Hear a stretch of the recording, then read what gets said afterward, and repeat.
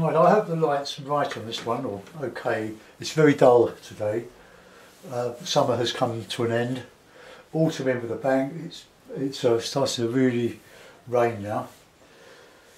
So I've got my day glow bulb going on. I, you can see. I, I hope it. I hope it works okay. Right, I've I've just sketched in a rocky scene. I've based, this one on a Ron Ranson type of painting showing some really large granite rocks and some rocky tumbling stream like a North Wales, Betws-y-Coed type of area with some background trees with very very little detail and we'll see how we get on. Uh, my, my plastic card will, will come in very handy on this. I've got several of these cards so so just get them ready. They have a habit of disappearing when I least expect. So uh, I tend to use the ones the, the corner bits. That's a bit bit wide. I've got a fairly wide one here with two corners, two nice rounded corners. They're very handy. I'll just cut this one to slightly narrower and sling the other bit because it's got those really sharp, full, sharp corners and I've got two corners on here. So there we are, got my got them ready. Got my clean water, got my palette of uh, lemon yellow, raw sienna, alizarin crimson, light red, ultramarine, burnt up but Payne's grey. And if I need it, some lovely uh, burnt sienna. But really, burnt sienna is really just a bit of uh, burnt umber with a bit of light red in it. I often get asked what red this light red is. It's it's hardly a light red. It was I think it was originally invented to paint the Venetian roofs. And you can see it's a very very strong colour and that's what it is. It's not brilliant at all, but if you mix yellow with it, of course you can brighten it up. But it's a good mixer, but used on its own sparingly. So I'll uh, wet all my paper. I might create a, an area of light at the back of the uh, the wood that you that's going to be not very much detail. So let's uh, let's give it a wet. It's a Saturday morning in October, first Saturday in October.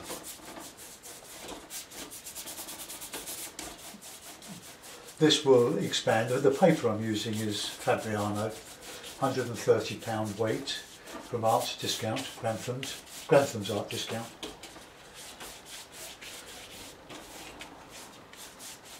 And uh, the brush is a, is a, a Ron Ranson two inch hake, the large Ron Ranson hake. It's, about, it's just under two inches wide or say 45, 45 millimetres, something like that. I think that's 45 millimetres check with my rule here. Uh, it's actually 47, 48 millimetres wide, so not quite two inches. Um, as it expands you can reclip it but I'm going, just going to paint in some some raw sienna just get that in the background here. And the light is not very good, I must say. I don't really want to put the overhead lights on. Right, okay. Now a bit, of uh, lemony yellow in there as well. Now I can put some bluey stuff in. That's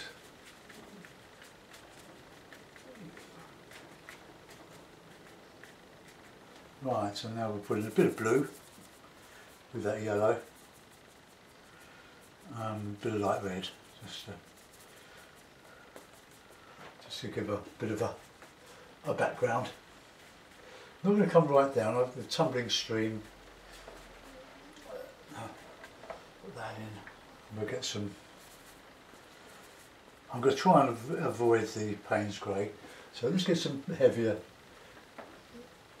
stuff here going around the tumbling stream.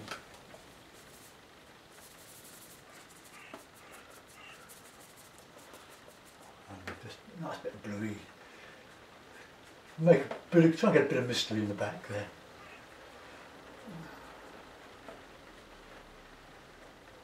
Right.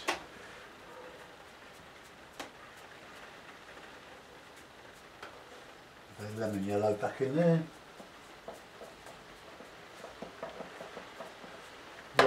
Now that'll do for that. Oh, it's really coming down now.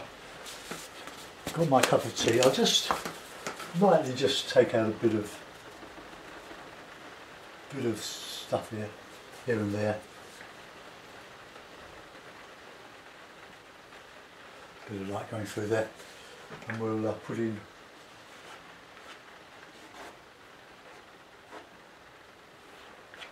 this only really shows against the darker background, but just uh, be a bit sparing with the with the trunks because a little of this technique goes a long way. Right, that'll do. Let's reclip. And we'll go in with the uh, the rocks now. Now the the rocks uh, are going to, my rocks are going to be predominantly red and blue, bit of umber. But, but one the ones in the background to be quite not as insistent. So um, so we'll just put some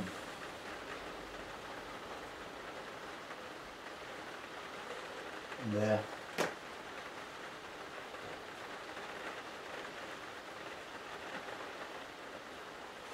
Right, that'll do. Now I'll get my card we'll just gently just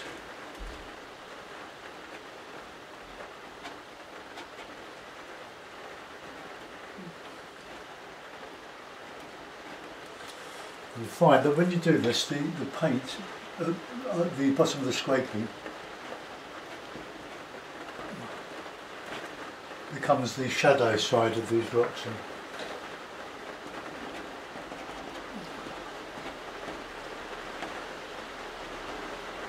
Okay. Ooh, can you hear that? And then we've got the some big ones I'm putting on the right. So let's get that really quite dark and quite rich with colour.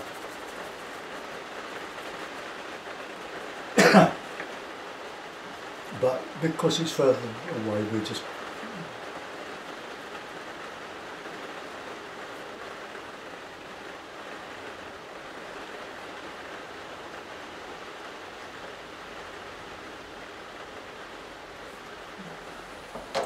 They're really dark now. There's a bit of ochre in there as well.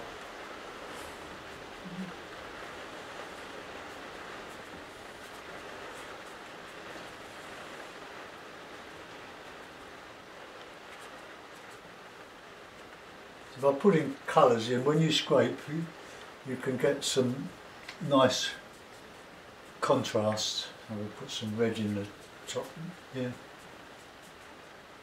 Bits of ochre.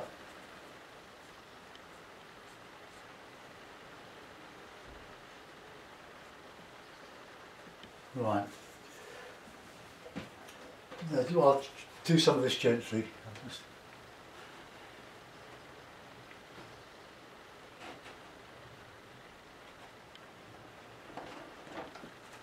Just to create an impression of of there being something in in there of like interesting textures.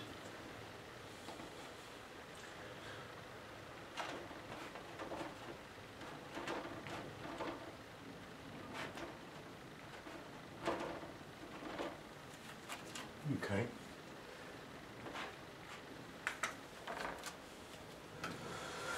So we'll put in some, some more of these rocks in the uh, foreground.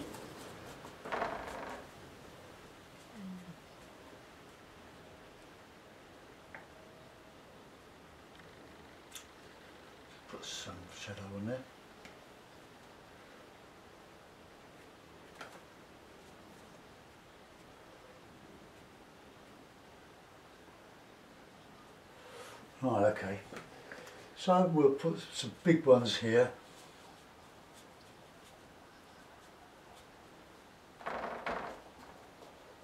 Mixture of lovely colours.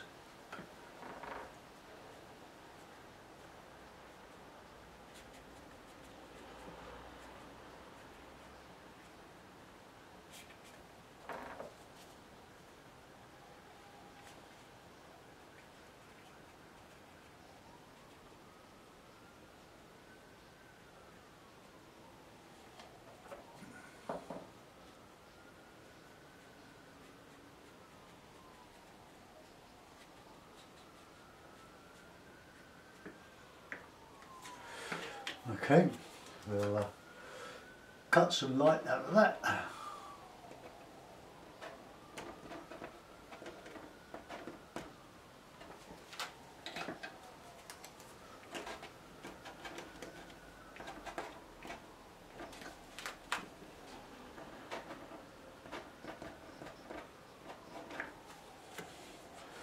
Then I can get the tumbling stream going in and around around this. And let's get one in the bottom here.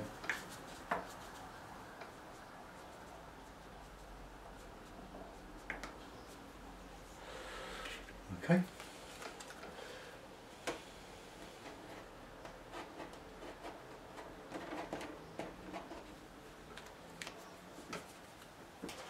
Right, then a little bit of tea.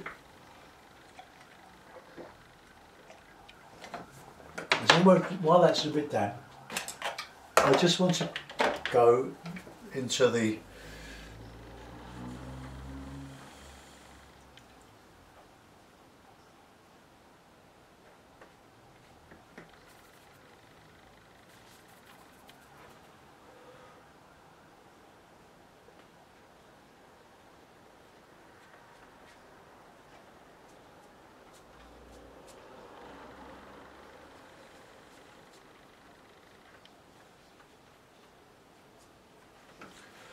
Okay, so that's that. Now, uh, I need to dry that off now because we've just put the water in.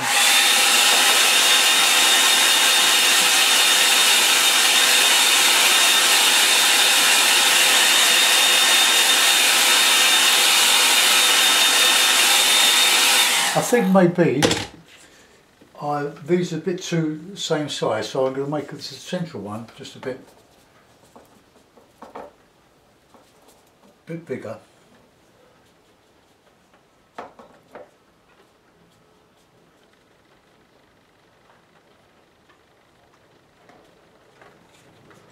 Right.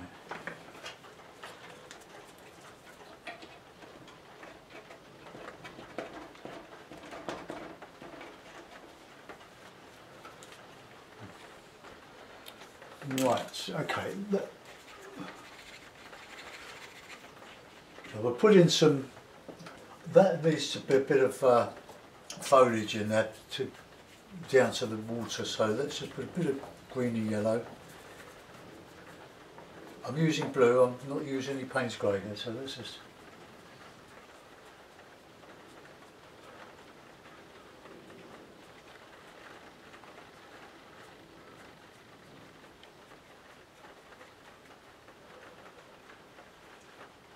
Right, just dry that off.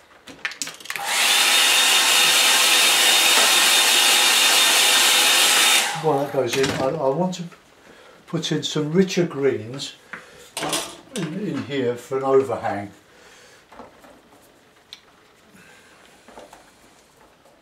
So blue, uh, burnt umber, blue, and lemon yellow. And we'll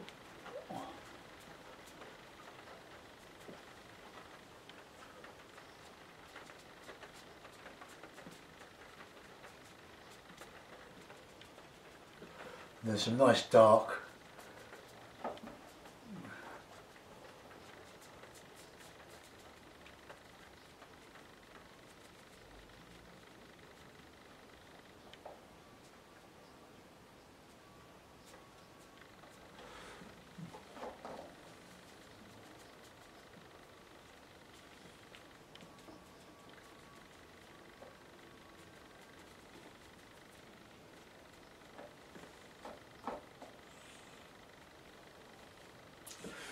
Right.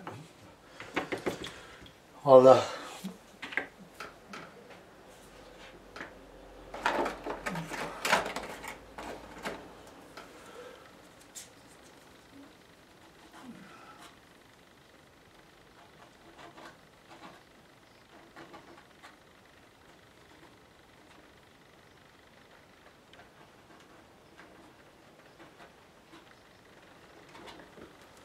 Right, well, let that, while that's drying off, so I'm going to put some extra stuff in there.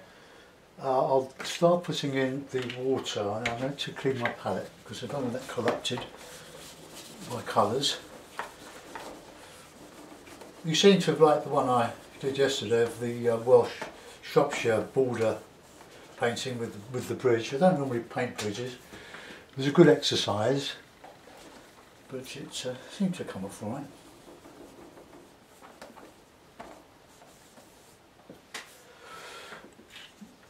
Okay, got my cloth here. Cloth here, not cloth here. Swig of tea. Right, we'll put in some bluey greeny water. Oh, who's that texting me?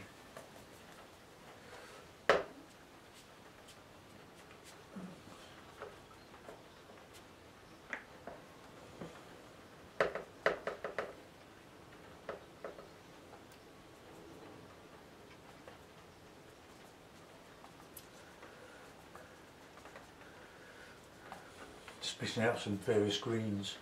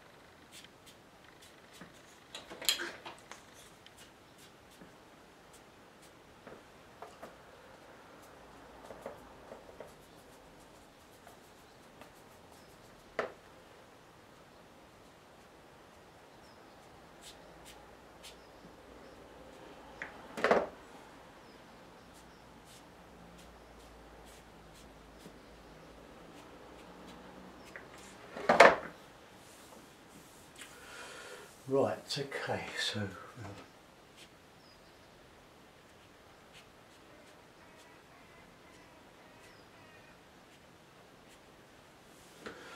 Okay, let's uh, just take that down there. Yeah. And I can put a bit of uh,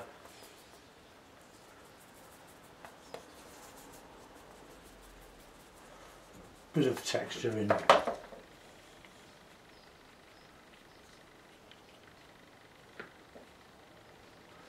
Some splits in the rocks.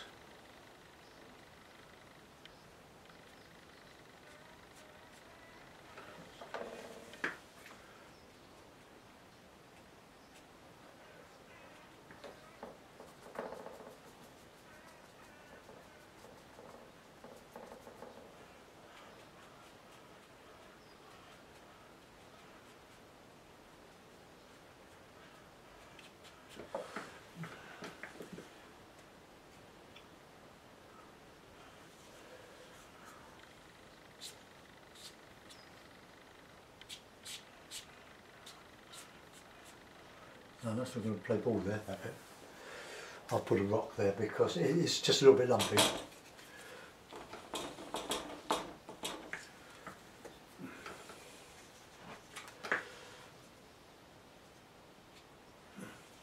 Right, okay. Not much more I can do with that. I just want to put in some, some branches up here on the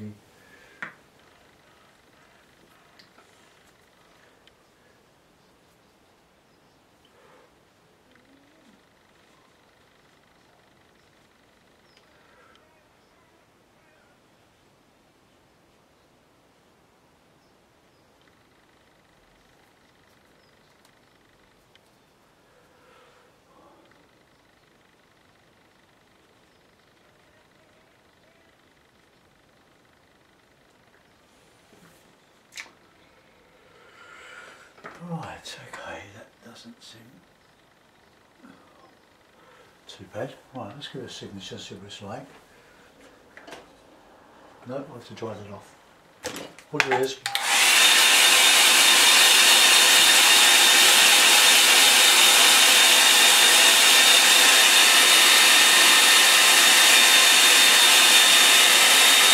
I might just lift out some of the water.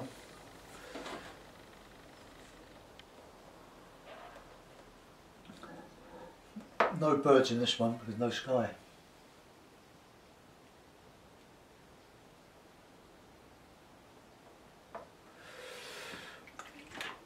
Alright, let's uh, do that.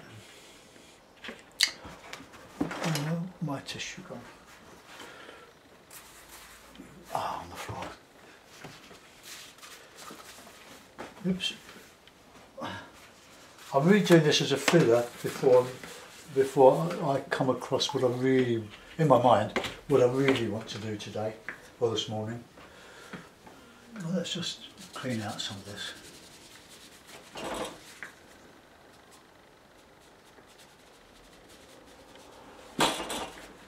Let's take out some white.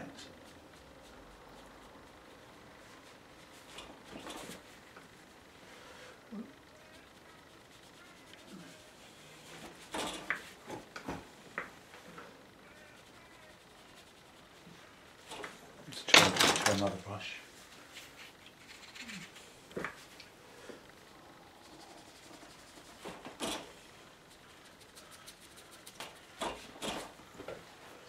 Yeah, I should have left the pure the paper there, really.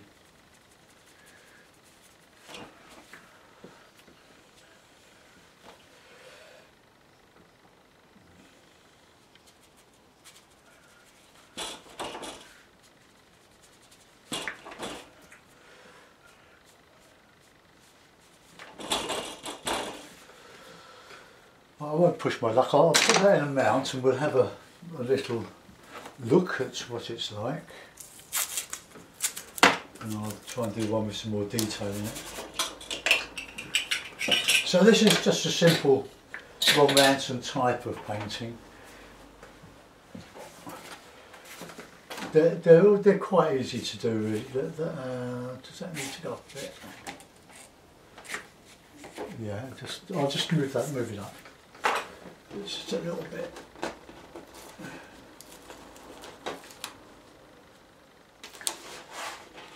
Okay. Doesn't matter if it's a bit crooked in the mount. Too high now.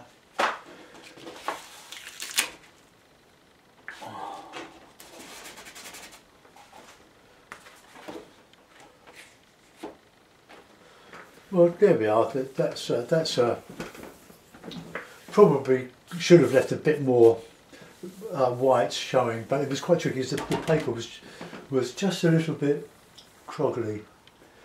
But anyway, it's a it's an idea. We can we can put in some slightly darker bits on the on here. That's,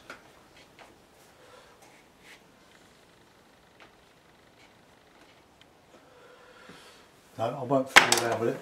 That's it. Let's zoom in. Well, this that is very similar to a Ron Ranson picture in one of his books, but I've I've added and subtracted really to, to show you how simple these things can be with the hake. But I don't think Ron was much uh, taken with the plastic cards so much. He, but, but it's all very technique. It's very easy to do. Look, it's it's using the plastic card to model the rocks rather than use the brush. With oil and acrylic, of course, you've got to, you've got to paint the uh, things. But in watercolour, it's all very quick and rapid. But I'm really enjoying doing these. So there you are. It's tribute to to Ron. Uh, yeah, I quite like that. Thanks for watching. Bye bye.